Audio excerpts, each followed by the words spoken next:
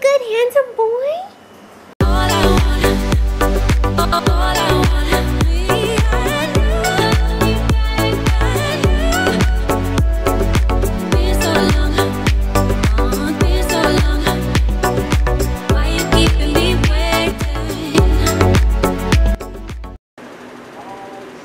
Good morning, Tom Tom.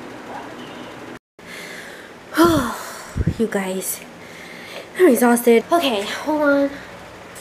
I love doing that. okay, so we went out with Andrew's dad and it was really fun. And we went to the mall and we just hung out and had some time and that was so nice. Because we haven't gotten to see him a lot lately. You know, and then with COVID and everything, it was kind of like, oh. So, it's nice. Anyways, we went out to lunch too.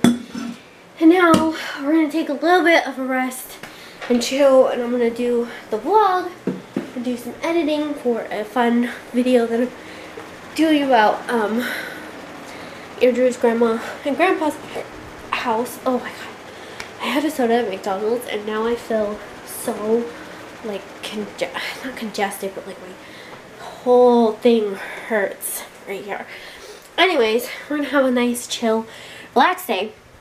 It's gonna be 80 degrees today so I'm really glad that we have the air conditioner. Anyways, that's what we're doing. Let's go check on the Hammy baby because I have not checked on her yet. Okay, she was up. She's not anymore. Were you a good handsome boy? No mail? No, straight out of the counter.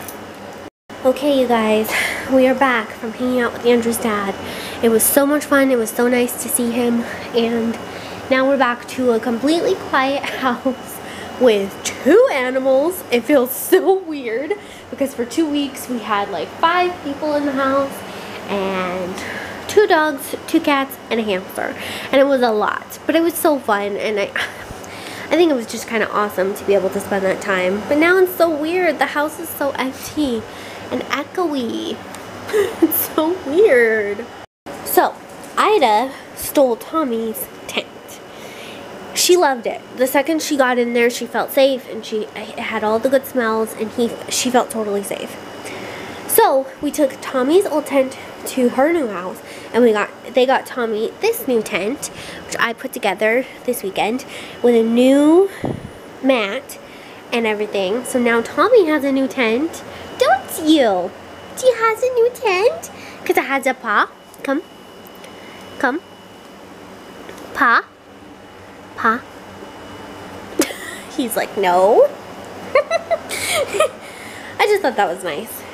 The tents comes with these little tiny signs. And I decorated this one for Ida. For her tent. Well, Tommy's old tent. Her new tent. So I decorated this one. I think it looked really cute. And then I did these little poster signs. And we're going to put paw prints in the middle for the dogs for their leashes and everything. So we're just going to hang it on the wall. So this one is Tommy. And this one is Ida's. So they'll go on the wall at the trailer and they will have um,